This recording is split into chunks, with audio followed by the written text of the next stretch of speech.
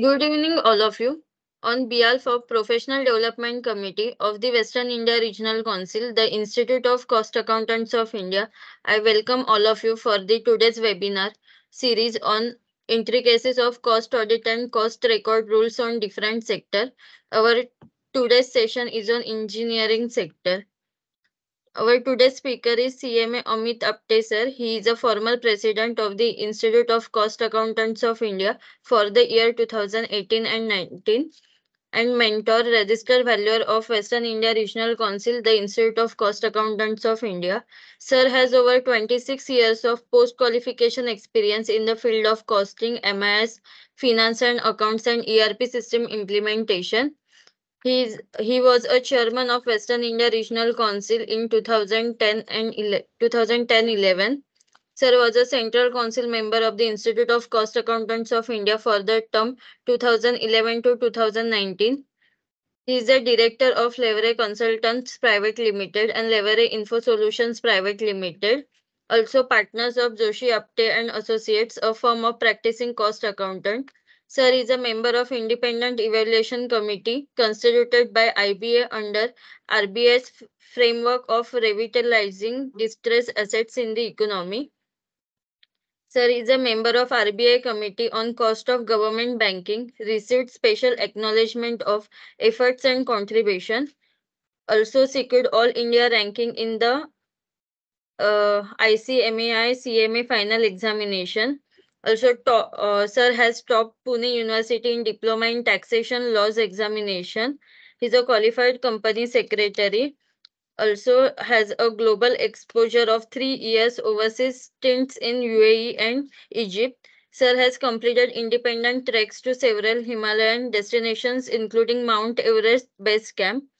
Sir has represented state level and meritorious performance at table tennis tournaments. I welcome, sir. and now I request sir to kindly start the session, sir. Thank you. Thank you, Pujanka. Thank you, sir. Uh, you are able to see my screen, right? Yes, sir. Okay.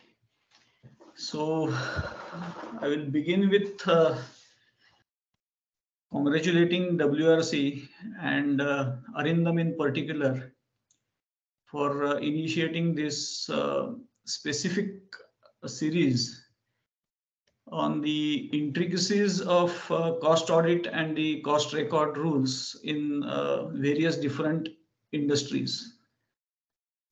Um, now the topic which has been given to me is uh, cost audit and cost record rules in engineering sector. So I will come to that uh, later. Uh, I can see from the list of attendees, uh, some of uh, the members who are attending are quite senior, uh, qualified, and also uh, in the field of cost audit for quite a quite some time. Uh, and also there seem to be a few newcomers who are attending this session. So before I go to the uh, topic of intricacies, uh, I will uh, run you through a few slides which uh, will give us the history of uh, cost audit and uh, the basic rules which they stand as on date. So many of us may be aware that uh, the concept of cost audit was uh, introduced for the first time in the Companies Act 1956, uh, way back in 1965.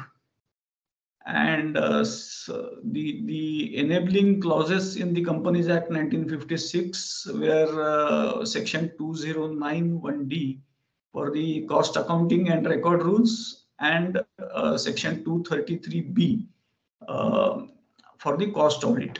So both these clauses were inserted uh, in the Act uh, in 1965. Um, over a period from 1965 till 2011, as many as 44 industries got covered under the ambit of uh, maintenance of cost records and cost audit, uh, one after the other.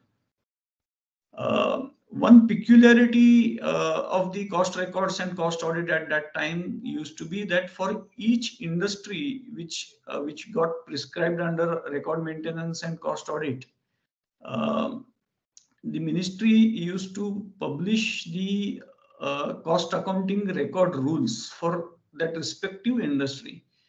Uh, so it was that for each and every 44 of those industries, there, there were uh, cost record rules for each of those 44 industries. The uh, formats for the records were also prescribed by the ministry.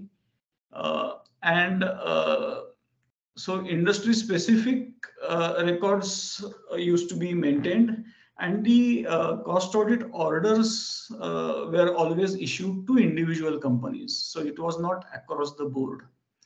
So exactly similar companies uh, in a sector which was uh, covered, it was not necessary that uh, both the companies were covered under cost audit. Also, there used to be a physical submission of cost audit reports to the uh, cost audit branch and that used to be uh, quite a Herculean task because product wise cost sheets were required to be maintained, audited, and uh, product wise cost sheets used to be submitted uh, to the uh, cost audit branch of the government. Uh, this used to be a challenge. Uh, just, just a minute here. Um, please ex excuse me for just a minute. I need to close the main door of my office.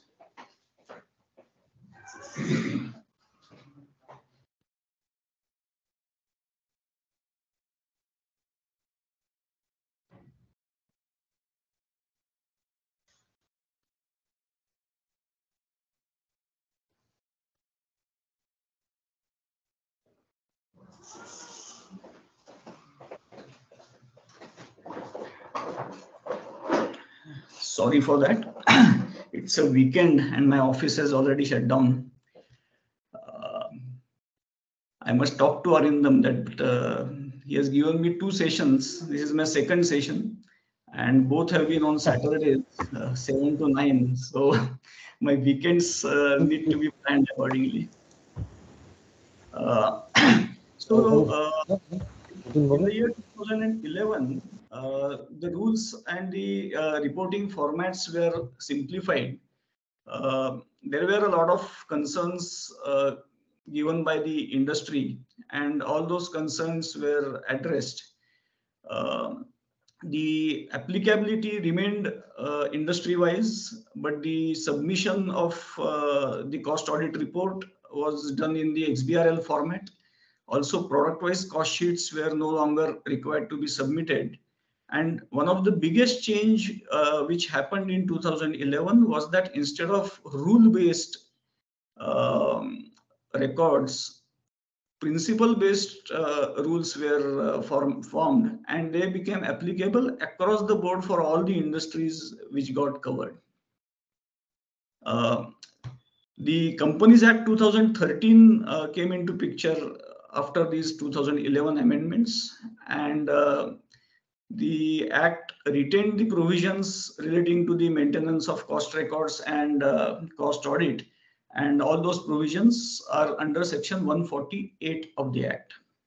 And uh, once the new companies act 2013 uh, came into uh, existence naturally the earlier rules became defunct and the new rules were also framed uh, under the act i am not getting into the details of there were some controversies at that time but uh, finally, in 2014, the rules uh, were notified under the New Companies Act 2013. And the rules which we see today are more or less uh, in the same, same line. Some modifications, some amendments have been done since 2014. But more or less, there is no major change in the rules. So uh, what is the basic difference between a cost audit and a financial audit? Uh, a quick uh, analysis of that. So uh, we all understand that the cost audit can be performed uh, by a practicing cost accountant and uh, the financial audit can be performed only by a practicing chartered accountant. Um, also, the cost audit is the examination of the correctness of the, the cost statements that have been maintained by the company and its conformity with the cost accounting principles. Uh, when I say cost accounting principles, the institute has prescribed the generally accepted cost accounting principles, and they have also come up with various cost accounting standards. Uh, however, the uh, cost record and the cost audit rules uh, have prescribed the uh, maintenance of uh, cost records specifically in format CRA1 which is more or less very similar to the various cost accounting standards and the generally cost accounting principles that are uh, in vogue. Uh, the appointment of the cost auditor uh, is one topic which which uh, has been represented several times uh, that it is being done by the board of directors uh, of the company. Whereas in case of the financial audit it is always done by the shareholders in, in the general body meeting. Um, as a part of the cost audit, it is the uh, duty of the um, to analyze the various um, cost records, cost statement, uh, and the cost accounts. Uh, whereas the financial audit focuses more on the financial statements and the documents and vouchers. Uh, the uh, efficiency of the operations and the propriety of the actions of the management is the key focus area as far as cost audit is concerned whereas the financial audit uh, primarily focuses on the compliance with the cost accounting standards and the effectiveness of the overall internal audit system uh, or the internal control system. Um, as already mentioned, uh, financial audit is mandatory for all the companies, whereas uh, cost audit uh, is specified only to certain uh, industries and that also based on the turnover criteria.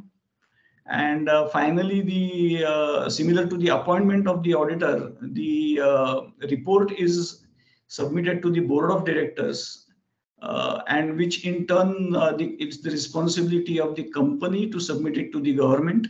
Whereas in case of uh, financial audit, the audit report is submitted to the shareholder, or presented before the shareholders. Now, what are the threshold limits for applicability of uh, maintenance of cost records and the cost audit?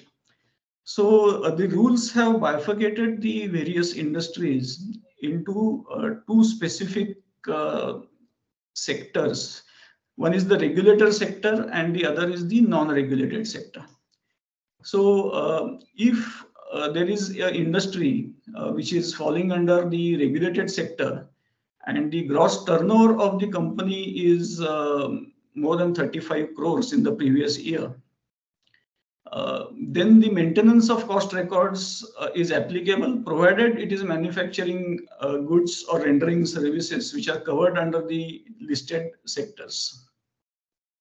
Um, the provision of cost audit, uh, oh, sorry, the provision of uh, maintenance is exactly the same for non-regulated sectors as well. Uh, however, in case of cost audit, there is some difference. In case of the regulated sectors, the gross turnover of the companies uh, should be more than 50 crores for the previous year. And the turnover of individual products or services which are covered uh, for maintenance of cost records uh, should be in excess of 25 crores. For non-regulated uh, sectors, uh, however, the gross turnover of the company should be 100 crores in the previous year, and the turnover of individual products or services which which are covered under maintenance of cost records uh, should be 35 crores. Uh, now, which are the uh, various uh, industries which are getting covered under maintenance of cost records and, and the cost audit? Uh, now, before we come to that, there, there are a couple of uh, specific exemptions. Uh, the first first exemption being the micro uh, enterprises and the small enterprises are exempt from maintaining of the cost records. Uh, also, uh, foreign companies having only liaison offices in, in India are exempt from maintenance of cost records. Uh, as far as cost audit is concerned, uh, the companies whose revenues uh, from exports uh, uh, in foreign exchange exceeds 75% of the total revenue or companies operating from SEZ are exempt from cost audit. However, these companies are required to maintain cost records. Uh, similarly, companies which are engaged in generation of electricity for captive consumption through a captive power generating plant uh, are also exempt from cost audit. Uh, now here is a list of the uh, various industries which are covered under uh, the record rules and the cost audit mechanism. Uh, we have already discussed the threshold limit for the of the turnovers uh, and he, the list is given here. So these are the six regulated sectors which include the telecom services, the generation, transmission, distribution of power, then the uh, petroleum products, drugs and pharmaceuticals, fertilizers, sugar, and industrial alcohol. As far as the non-regulated sectors are concerned, uh, there is a list of 33 various industries or uh, sectors, uh, which includes the machinery and mechanical appliances uh, used in defense, space, and atomic uh, energy sectors. Um, turbojets and the turbopropellants, the arms and ammunitions, the propellant powders, and uh, various explosives, safety fuses, detonating fuses, etc. Radar apparatus, uh, radio navigational aid apparatus. I will quickly run you through this because uh, uh we all know the list. So tanks, uh, port services, aeronautical services, steel, road and other infrastructure projects, rubber and allied projects, coffee and tea, railway or tram, cement, various minerals and ores, mineral fuels, base metals, inorganic chemicals, organic and inorganic compounds, jute, uh, edible oil, construction industry, health industry, educational services, milk powder, insecticides, plastic and polymers, tires and tubes, uh, and so on and so forth. uh, in serial number 13, uh, sorry, 33 of the uh, non-regulated industry, they have also covered uh, certain items uh, which get covered uh, even if they are not manufactured uh, in, in India and just traded or imported and traded. These are all the medical devices that have been listed. So the, for the first time, the medical devices uh, are covered under the ambit of record maintenance and the cost audit. Now, if you look at the list uh, of the regulated sectors as well as the non-regulated sectors. So 6 plus 33. Uh, as I said, the topic which has been given to me talks about uh, the engineering sector. So, uh, which according to you uh, can can we consider under the engineering sector per se? Uh, can you type out a few examples uh, in the uh, chat box. Any one of you? Serial number 31. Okay, so that is the other machinery. What else?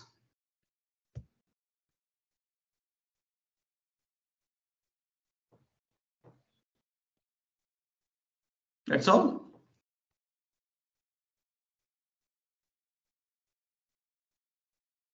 Yes, engineering is mostly covered under uh, serial number 31, that is the HSN code which starts from 84. Okay. So 84 is basically the uh, other machinery.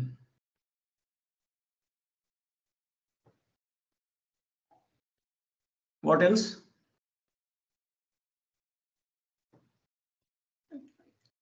Thirty-two as well.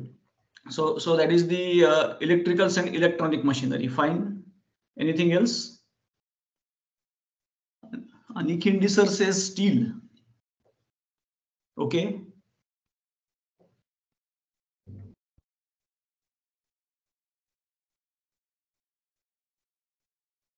Okay, fine. So uh, I what I did was I looked out uh, at the various uh, engineering uh, forms of engineering, and there appears to be eight main types of engineering uh, industries. Uh, this is this is just the googling which I did when I prepared for today's program. So mechanical engineering, chemical engineering, electrical engineering, civil, aerospace, environmental, biomedical, and software. Now, if you look at these, uh, practically, uh, except for maybe uh, software engineering, uh, rest of the streams of engineering are being catered to by some sector which is covered or the other. So definitely uh, that that is not the intention uh, of, of, WRC uh, when they have given me the engineering sector per se, right? So I looked at the encyclopedia as well, and encyclopedia uh, basically covers uh, uh, two different terminologies. So one says that the engineering can take a variety of forms. One is the civil, military, or mechanical and it also says that the term engineering industry is normally used in a more limited sense to describe the industries devoted to manufacture of engines, machine tools, and machinery. So uh, it talks about uh, the various machines, engines, and civil, civil kind of uh, uh, engineering services. Uh, so I, ha I have made a uh, comparison between a typical manufacturing industry and what can be termed as a uh, engineering industry. Uh, now, now, typically, I have done this uh, bifurcation because I wanted to focus only on certain categories or certain types of uh, industries in today's session. so I have I have tried to compare the manufacturing industry with the engineering industry. Uh, now, if you look at it, the uh, manufacturing industry typically can be considered as the mass production of tangible goods, such as automobiles, pharma, electric, electronic uh, devices, or uh, FMCG goods, FMCG products. And uh, the engineering industry requires uh, designing, construction, maintenance of uh, infrastructure and various large machines. So the focus of today's discussion will be uh, large projects or large uh,